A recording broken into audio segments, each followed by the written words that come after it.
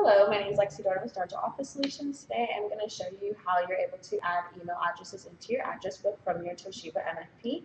We're going to go into your user functions, then to your address tab.